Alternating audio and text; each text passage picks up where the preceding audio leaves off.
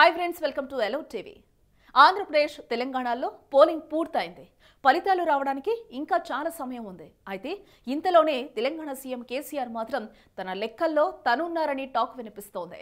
కేంద్రంలో హంగ్ తరహా పరిస్థితి వస్తుందని ప్రాంతీయ పార్టీల బలమే కేంద్రంలో కీలకమవుతుందని పదహారు ఎంపీల బలం కలిగిన తెరాస కూడా కేంద్రంలో చక్రం తిప్పుతుందని కేసీఆర్ భావిస్తున్నారు. పదహారు మంది ఎంపీలతో కేంద్రంలో కనీసం నాలుగు మంత్రి పదవులు సాధించుకునేందుకు అవకాశం ఉంటుందని కేసీఆర్ తన సన్నిహితులు వ్యాఖ్యానించినట్టు వార్తలు వస్తున్నాయి.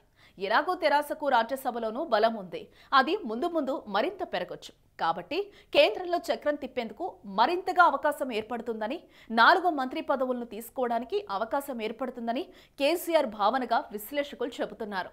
ఏదేమైనా వచ్చేసరి కేంద్రంలో అధికారాన్ని పంచుకోవాలని మాత్రం కేసీఆర్ గట్టిగా అనుకుంటున్నారట.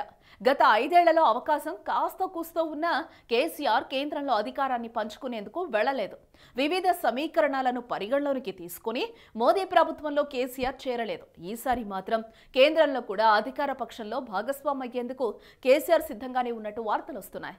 ఫలితాల తర్వాత దీనిపై మరింత స్పష్టత వచ్చే అవకాశం ఉంది. Hi this is ఎబా Patel please subscribe to to TV